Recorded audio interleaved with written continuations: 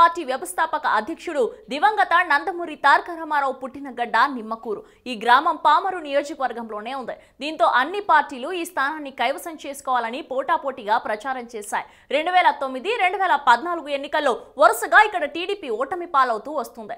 రెండు వేల తొమ్మిదిలో కాంగ్రెస్ గెలవగా రెండు వేల పద్నాలుగులో వైసీపీ గెలిచింది. అయితే వైసీపీ నుంచి గెలిచిన ఉప్పులేటి కల్పన ఆ తర్వాత టీడీపీలో చేరారు. ఈ క్రమంలోనే ఈసారి కూడా ఆమె టీడీపీ నుంచి పోటీ చేశారు. వైసీపీ నుంచి కైలా అనిల్ కుమార్ పోటీ పడ్డారు. వైసీపీ నుంచి గెలిచిన కల్పన టీడీపీ నుంచి కూడా గెలవాలని గట్టి ప్రయత్నం చేయగా సిట్టింగ్ ఎమ్మెల్యేకు షాక్ ఇవ్వాలని అనిల్ కూడా బాగానే పోరాడాడు. ఈ నేపథ్యంలో ఇక్కడ గెలుపు ఎవరిది అనేది ఉత్కంఠను రేపుతోంది. కల్పన టీడీపీలో చేరిన దగ్గర నుంచి పామరులో అభివృద్ధి వేగంగానే జరిగింది. ఎన్టీఆర్ సొంత నియోజకవర్గం కావడంతో నారా లోకేష్ నిమ్మకూరు గ్రామాన్ని నారా భువనేశ్వరి కొమరవోలు గ్రామాన్ని దత్తత తీసుకుని అభివృద్ధి చేశారు. అటు సంక్షేమ పథకాలు ప్రజలకి చేరువయ్యాయి. ఇవి తనకు కలిసి వచ్చి విజయం సాధిస్తానని కల్పన నమ్మకంగా ఉన్నారు. అయితే వైసీపీ నుంచి టీడీపీలోకి వచ్చిన నాటి నుంచే నియోజకవర్గంలో కల్పన అనుకూల వ్యతిరేక వర్గాలుగా టీడీపీ చీలిపోయింది. ప్రభుత్వ సంక్షేమ అభివృద్ధి పథకాల అమల్లో ఆమె వైసీపీ నుంచి వచ్చిన వారికి పెద్దపీట వేశారనే విమర్శలు ఉన్నాయి.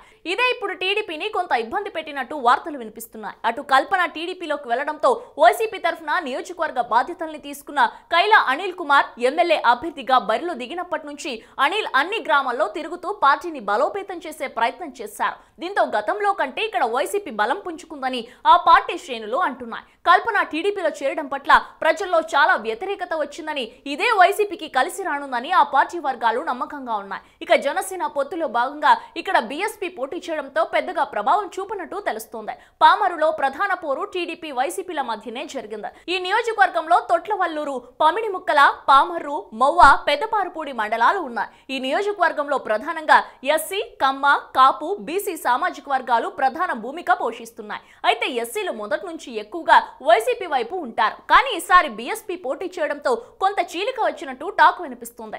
కమ్మ టీడీపీ వైపు ఉంటే కాపుల్లో సైతం మెజార్టీ వర్గాలు టీడీపీకి ఎక్కువగా మద్దతు ఇచ్చినట్లు సమాచారం. నేరుగా జనసేన పోటీలో లేకపోవడం వలన వారు టీడీపీ వైపే మొగ్గు చూపారని ఆ పార్టీ వర్గాలు అంటున్నాయి. బీసీలు టీడీపీ వైసీపీలకి సమానంగా సపోర్ట్ ఇచ్చినట్లు సమాచారం. అయితే ఇక్కడ పోటాపోటీ పోరు జరిగింది.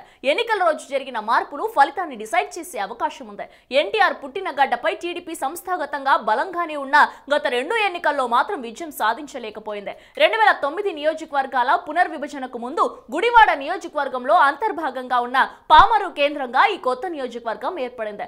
రెండు వేల తొమ్మిదిలో డివై దాస్ పదమూడు వేల ఓట్లు భారీ మెజార్టీతో కల్పనపై విజయం సాధించారు. ఇక గత ఎన్నికల్లో కల్పన వైసీపీ నుంచి వర్ల రామయ్యపై ఏడు వందల పైచిలుకు ఓట్ల స్వల్ప తేడాతో గెలిచి తొలిసారి అసెంబ్లీకి ఎన్నికయ్యారు. మరి ఎన్నికల్లో అయినా టీడీపీ గెలుపుబాట పడుతుందా? వైసీపీ తన సత్తా చాటుతుందా తెలియాలంటే ఫలితాలు వచ్చే వరకు ఆగాల్సిందే.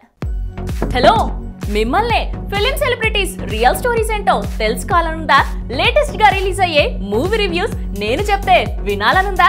ఇంకెందుకు ఆలస్యం? యోయో టీవీని సబ్స్క్రైబ్ చేసుకోండి. అలాగే మర్చిపోకుండా యోయో టీవీ యాప్ని కూడా డౌన్లోడ్ చేసుకోండి.